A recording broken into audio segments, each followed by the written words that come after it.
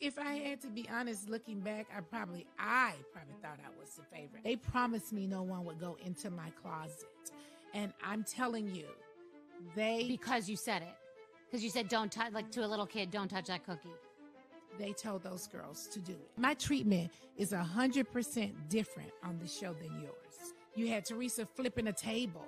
You had Teresa pushing Andy down. You had girls busting glasses. You got people doing all kinds of stuff. My feelings were they pretty much said, F that B. black period. They because they. Completely. But Vicki is back over there working and everything is fine. Lisa Vanderpump walk off the show, never return. She still got Vanderpump and she still sit over there and talk to him all day long if she want to. Teresa can go to prison and stay for 10 years and they'll wait till she get back and then the show will start again.